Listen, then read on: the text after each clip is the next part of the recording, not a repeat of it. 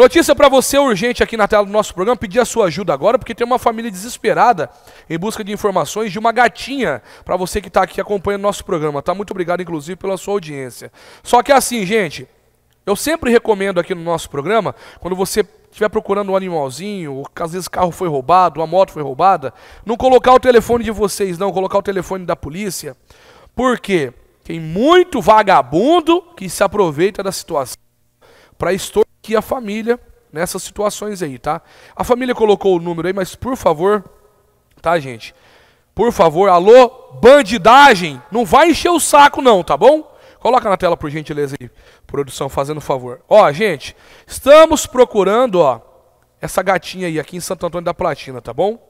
Ela desapareceu no Jardim Egeia, tá? É, não é aqui? Ô, meu diretor, não é aqui? Aqui, ó, eu acho que é por aqui, é, é nas imediações aqui do Molines aqui, ó, onde a NPTV tá aqui, ó. Se a gente ver, a gente já liga para vocês aí, viu?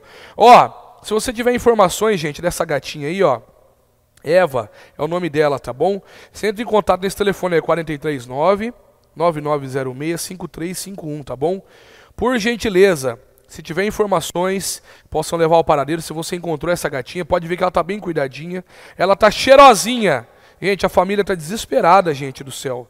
É, procurando ela. Por favor, vamos ajudar, tá bom?